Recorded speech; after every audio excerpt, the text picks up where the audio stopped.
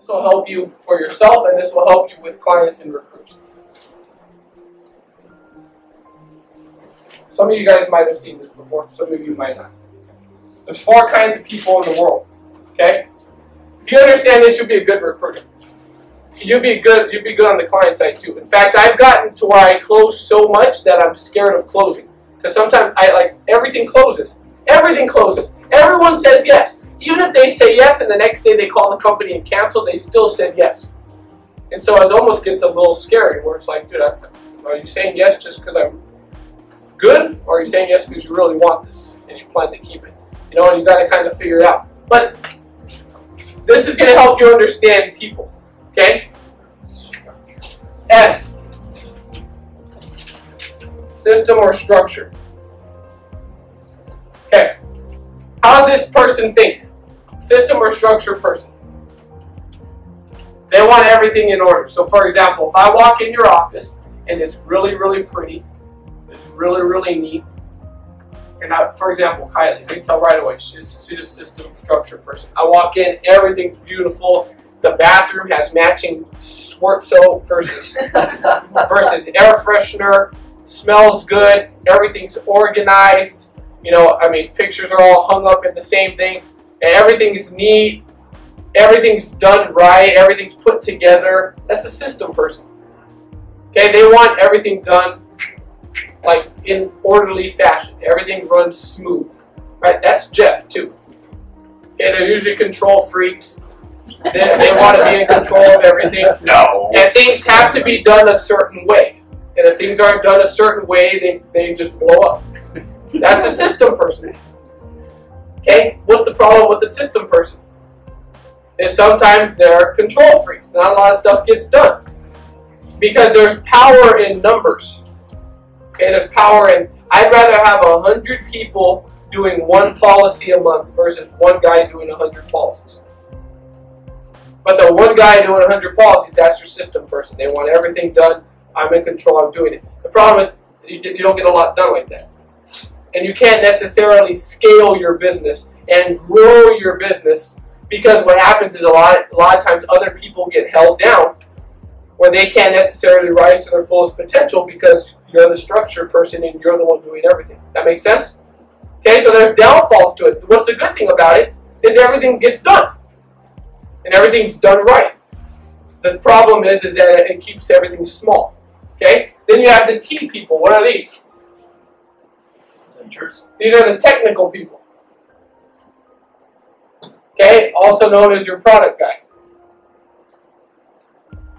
So for example, Brian, I saw him yesterday, his shirt. He was wearing something investment, education, blah, blah, blah. Heartland. There you go. That right away told me he's a, he's a technical guy. Right away. Because I would never even it would never even cross my mind to register for something like that. So what's the good thing about a technical guy? They know everything. So I've got technical people in my office. So when I have a question, I don't call home office. I go to my downline because he knows the answer. I'll be like, hey, what's the fee or what's the cap rate on on blah blah blah blah blah, you know, and, and he'll know the answer. The technical person, they they know the details on everything. They read the product brochures. They're the ones when I need a product brochure, I go to his office because he has a product brochure for every product. Even ones that he'll never sell in his whole career, he still has a brochure. Just in case. And he's read them all. So the technical guy, usually, a lot of times, they're the ones who are the fastest ones fully licensed. They get all their securities licensed, the whole nine yards. Technical person, I mean, they know the details. They're also, what's the downside? They're the ones who get, usually, they're very easily pissed off when something's not done technically correct. A lot of times in their language, they're the ones who say, well, technically, that's your technical guy. Ringing bells? Okay, technical people, they know the fine details on everything. Okay, and they're the ones who, you know, every, I mean, they send in an application and it gets approved the first time because every single thing on the paper was right. Okay, that's your technical person. What's the downside? A lot of times they're hard to get along with. They're easily made frustrated, especially if you're not a technical person yourself. Okay, a lot of times they're, uh, I mean, if something's not done right, like it just pisses them off. You know, they're they're done. You guys know what I'm talking about? Very People- complicated. Huh? They're hard to duplicate, yeah. You're on an appointment with a technical person, they give you all the facts and history more than the brochure does. You know, all the way back in 1922, with you know, they know everything. But then the trainees sitting there like, what in the heck is this guy talking about? You know, that's your technical person, okay? But they're, they're good. You have to have them, just like you have to have system people, okay? Then you have A, which is the action person. What's the action person like? Energetic. High energy. They're the go, go, go, go, go, go, go, go, go. That's the action person. They're the ones that technical people don't like. It's like, oh, that guy's just so annoying. Like, just he doesn't shut up. He's loud. He just goes. He's always offending everybody. That's your. That's the action person. The action person just go, go, go. Let me do it. I'm gonna mess up, but I'll figure it out when I mess up. I'll figure it out along the way. Okay, that's the action guy. Okay, the action person usually probably the biggest recruiter, probably the biggest producer, probably has the most chargebacks. And just kind of go, go, go. They're the ones who usually get in trouble. Somehow along the way they messed up with compliance, they got they got written up or something. That's the action guy. Okay, because the action person just they just blow and go. I'll figure it out when I get there. That makes sense? Usually athletes, usually they played sports, very, very competitive, very, very high energy, very high strung. You know, they're the ones who do not want to sit down and read the brochure. They do not want to sit down and do any of that stuff. Okay? That's the action guy. What's the downside to the action person? Is a lot of times they blow everyone out. So they get a team, and then their team is someone on their team's more technical, someone on their team's more system. And just freaking go to work. Why are you asking me all these freaking questions? And then their team quits. Or hey, well, what, what did you mean? I don't, dude, stop with all these stupid excuses. Just go. Just go. Just go. all right, don't sit around reading this crap. Just go. Just do it. Okay. Now, that's your action guy. Can the action guy make it to the top by himself? No, that's not going to happen. Okay. Then you have the R. The R holds the whole team together. That's the relationship person. That's the person who will never, if they never in their career make a dollar, they will still be here.